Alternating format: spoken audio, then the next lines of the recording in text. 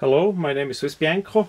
In this video I will talk about a Olight S10 flashlight in titanium uh, limited edition run basically prototypes that we worked.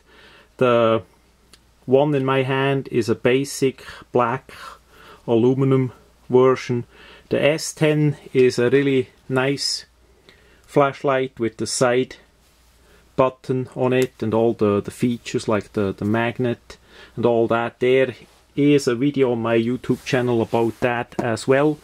But in this video I'm gonna talk mainly about the splash anodized ones prototypes. Those are just the main bodies. They are not not uh, assembled yet they gonna travel now to the SHOT Show in Las Vegas 2014 and then further to China for assembly. I hope the camera see all the, the details on the different splash. There are pictures of it also on my Swiss Bianco Facebook. To splash titanium we use not heat but chemical electric solutions uh, that saves on the wear and altering of the titanium. Say if we would use a heat source to create a color on titanium flashlights the body the, the threading and all would be relative harmed because the material would expand and as it cools off uh, retract a bit and it would be basically out of spec. So we use a chemical electrical solution that is way nicer on the titanium gives us a better quality better quality control and no problem with the titanium. It's simply a way higher quality.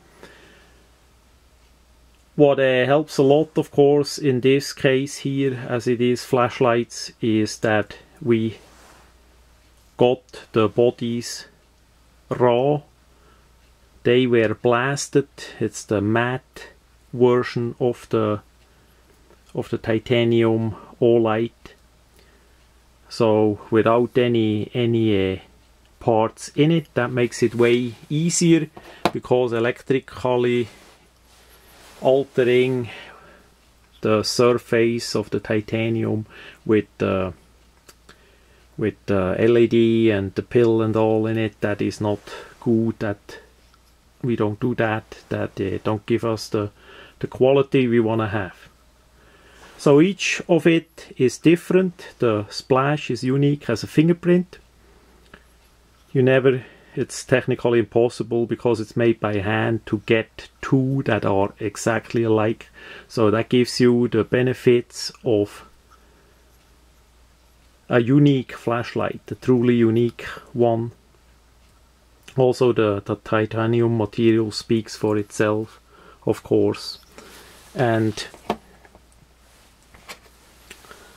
We don't know yet if they gonna make it into serial production or a limited run. We will see.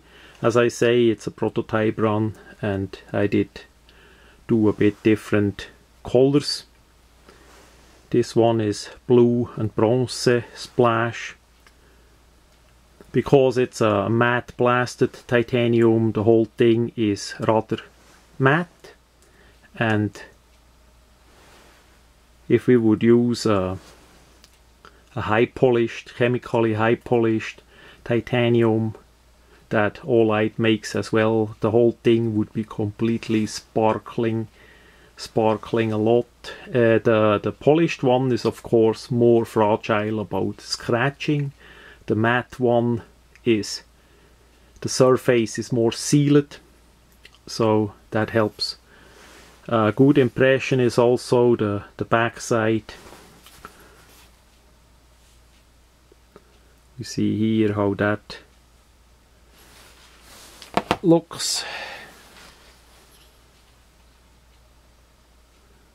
See the, the unique pattern of it.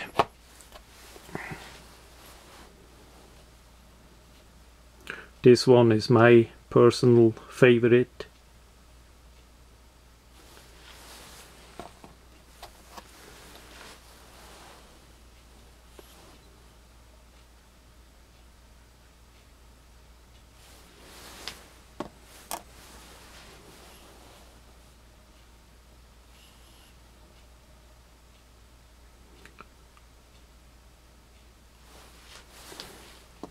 and of course the regular black version with the electric and all already in there.